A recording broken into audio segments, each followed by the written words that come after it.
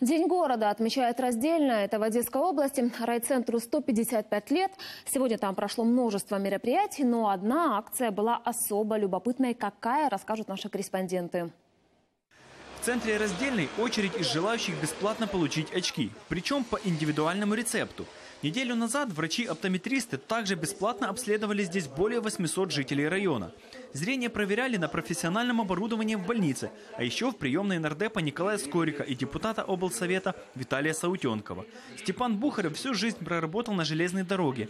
После инфаркта и инсульта зрение ухудшилось. Піти б до офтальмолога це сильно дорого для мене, тому що пенсія слабенька, і, а тут за безплатно зроблять, осмотрять і випишуть очки. А то, що там розговори йдуть, що б- наша медицина безплатна, це все тільки на бумажках, на словах. А от це личне діло для народу делают. Виталий Саутенков, представитель оппозиционного блока, такую акцию проводит уже больше года. За это время очки получили порядка 9 тысяч человек. Жители Великомихайловского, Беляевского районов Одесской области, города Южный и Суворовского района Одессы. Политик объясняет, стали заниматься этим, поскольку проблема действительно огромная.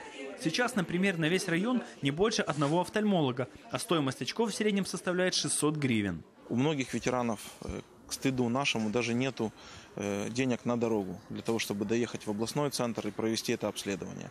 Поэтому мы приезжаем непосредственно в каждую деревню и в каждый дом заходим. И это наш маленький вклад для того, чтобы улучшить жизнь людей, для того, чтобы закрыть самые элементарные их проблемы и вопросы. Тем временем по своему рецепту люди получают очки, примеряют их, и вот их первые эмоции.